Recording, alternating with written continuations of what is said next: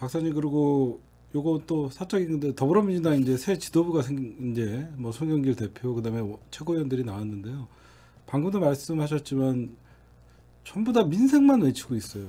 어떻게 보면 180석의 힘은 개혁의 힘이라고 얘기하는데 많은 분들이 어떻게 보면 민주당을 정말 사랑하는 사람들을 어, 문자 행동이고 강성 지지자로 몰아버리고 원 취지는 개혁을 하라고 180석을 줬는데 이제는 그 목소리마저도 조중동 프레임 같이 강성 지지자들과 선을 그으려고 민주당 안에서 이상한 소리가 나오고 있고 개혁은 뒷전이고 민생은 챙긴다 이런 현상이 물론 이해는 갑니다. 예, 뭐4.7 재보궐선거에서 대패를 하고 그 다음에 어떤 민심이 좀 이반이 있다. 이래서 본인들이 민생정당이라는 거 내년 대선도 있으니까 이해는 하는데 우리 박사님이 볼 때도 되게 답답하실 것 같아요. 이거. 아니 그렇지는 않아요. 음. 그러니까 사실 민생은 기본이죠. 그러니까 저도 기본인데.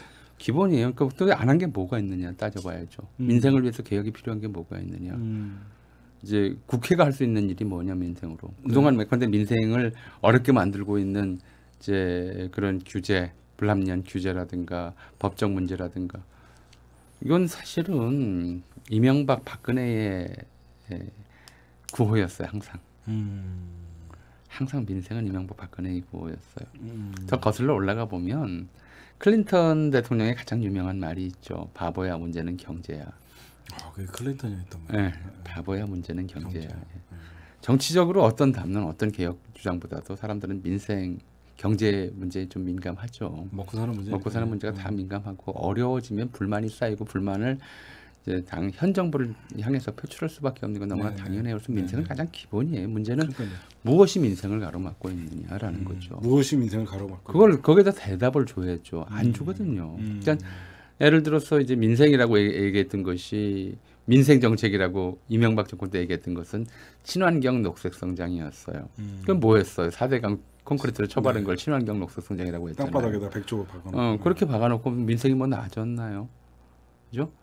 어, 박근혜 정권 때 보세요. 창조 경제라는 희한한 말을 만들었는데 그게 뭔지를 몰라요. 아무도. 음. 어, 아무도 몰라요. 창조 경제는 뭐 했는지. 뭘 창, 창조했는지 모르겠고. 근데 빚내서 집사라는 거는 기억이 납니다. 그렇죠. 그런 것만 했는데도 별로 나아진 게 없어요. 음. 지금 보세요. 그 문재인 정권 들어와서 놓고 보자면은 한국이 이제 그 세계 10위 경제 안에 확실히 들어왔단 말이에요. 네. G7 이제 이탈리아를 제쳤다는 거잖아요. 네. 경제적으로. 네. 주가 지수는 3천을 넘겼어요. 네. 이제 어, 구매력 대비 그 국민당 그 소득도 일본을 앞질렀어요. 구매력 네, 대비해서 네, 놓고 보면 경제 성장 굉장히 빠른 속도로 진행됐어요. 이 코로나 상황에서도 코로나를 잘 대처했기 때문에 한국 경제는 전 세계 OECD 국가 중에서 가장 높은 성장률을 기록했고, 그죠? 특히 뭐 이번에 1, 4분기 놓고 보면은 어, 작년보다도 훨씬 더 많이 성장했다고 그러잖아요. 언론 잘 보도를 안 해요. 물론 이제 이런 코로나 위기 상황에서 민생 정말 심각하게 애 먹는 분들이 있어요. 네, 많아요. 네, 네, 자영업자들 특히 지금 심하죠. 네. 그 고통이 너무 심각해요. 뭐 지금 저도 이제 오늘 어떻게 병원에 갔다 오다 보니까 그 주변에 어 작은 어, 가게들 많이 문 닫았더라고요. 해결을 해야 돼. 근데 이게 법, 법으로 해결할 수 있는 문제냐는 거죠. 코로나 극복이 민생 정책이에요 지금으로서는요. 그렇죠. 네. 코로나 극복에 방해하는 그거는 코로나 극복을 이제 어렵게 만드는 온갖 가짜 뉴스들 행행하잖아요. 백신 맞지 못 맞게 하고 네. 뭐이 백신 갖고 오면 저 백신이 좋다고 그렇죠. 네. 어, 그런 식의 가짜 뉴스들을 사실은 단속하고 빨리 백신 접종 이루어지게 만들고 음. 그렇게 해서 집단 면역 이루고 그래서 좀 자유롭게 마스크 안 쓰고 음. 이제 일상으로 들어가 식당에 들어갈 때 이름 안 쓰고 들어갈 수 있게 만들어 주는 네. 게 민생 정책의 핵심이거든요. 이건 네. 다른 게 아니란 말이에요. 근데 민생을 떠든다고 그게 민생이냐고요. 민생을 앞에서 내세운다고 민생인 건 아니에요. 맞습니다. 오히려 그동안 진짜 민생에 필요한 것들이 뭐냐. 어떻게 보면 실제로 이런 이제 어, 가짜뉴스는 안 발하고 쓸데없이 불안감 조성하고 우리나라 잘하고 있는데도 못한다고 계속 이제 어, 저주 퍼붓고 악담하고 퍼붓고 이런 언론에 대해서 무엇인가 개혁하는 것이 사실은 민생 대책이에요. 네. 그렇죠. 검찰 보세요 한번 어, 유전무죄 무죄 유죄 음. 가난한 사람 더 힘들게 만드는 게 이런 거잖아요. 네. 이거 개혁하는 게 민생 대책이거든요. 민생이 다른 데 있는 게 아니란 말이에요. 네. 근데 지금 예컨대 이제 개혁 피로감이 있다고 하니까 네. 민생으로 방향을 돌린다 이렇게 얘기를 하는데 네. 구체적인 것들이 없으면 아무리 이것이 선거를 의식한 발언이라 하더라도 음. 사람들이 동조하기가 힘들어요. 네. 동의하기가 힘들어요. 도대체 어떻게 하겠다는 건데 너무 많이 들었어 민생이란 말을. 음. 이건 이제 박정희 때부터 내내 하던 얘기예요. 경제 좋은 저는 적한 뭐- 번도 없어요. 옛날 네. 옛날부터 얘기 들어보면. 민생이라는 얘기를 굳이 떠, 어, 꺼낼 필요는 없다고 생각을 네, 해요. 네. 민생이 어려운 건 언제나 어려웠지. 사실 어려운 사람이 좋은 적이 없었어요. 맞습니다. 지난 수천 년간 음. 어려운 사람이 좋은 적은 없었어요. 음. 항상 경제 좋다, 잘 된다, 신난다라고 하는 사람들 예컨대 어, 주식 부자들, 부동산 부자들 이런 사람들의 반응이 민생이라고 이렇게 자, 과대 아. 포장되거나 과잉 표시가 돼요. 늘 그래 왔어요. 음. 우리가 최저임금 지금 예를 들어서 최저임금 문제라든가 또 장사 못하는 자영업자 지원 문제라든가 이런 문제 산적해 있긴 한데 이게 법으로 할 일은 아니잖아요. 비상시국인데 국회가 할 수 있는 일도 제한돼 있어요. 네. 그럼 뭐가 민생을 가로막고 있는 건가? 음. 진단을 하고 나서 얘기를 해야죠. 국회가 할 수 있는 일이 뭔지 보여주겠다. 뭔지도 좀 보여줘야 되고요.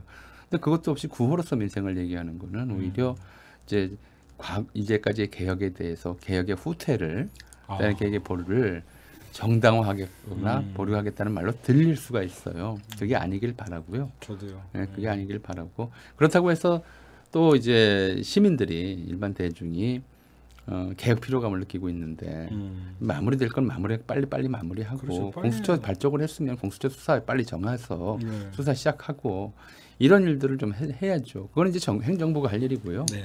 이제 국회에서는 이제 담론 차원에서나마 민생 문제를 얘기하고 싶으면 무엇이 문제인지 진단을 내놓고 동의를 음. 구하고 이게 필요하죠. 네. 마치 우리가 그 동안에 개혁에만 열중하고 민생을 뒷전에 뒤, 뒷전에 돌렸다는. 식으로 얘기를 하면 안 돼요. 민생은 늘 굉장히 가장 중요한 기본적인 문제였던 거죠. 집권 여당이었으니까. 언제 빼놨어? 기본적으로 잘 챙겼거든요. 저는 그거 빼놨다는 생각 안 하거든요. 근데 그런 문제들은 있었죠. 이제 어, 복귀는 해봐야죠.